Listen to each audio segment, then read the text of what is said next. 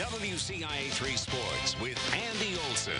Former Lincoln Railsplitter Jermaine Hamlin may not be returning to the Illini next season, but he certainly isn't going far. The 6'10 center announced on Twitter this afternoon he's headed south to eastern Illinois.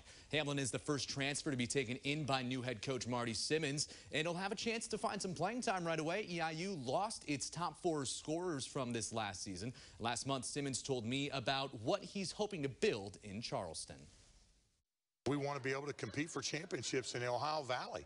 You know, how quickly that happens, you know, we'll, we'll just have to wait and see. But my belief is that uh, when we get these guys to buy in to our style of play, to our philosophy, then uh, it's going to give us a chance to, to compete right away.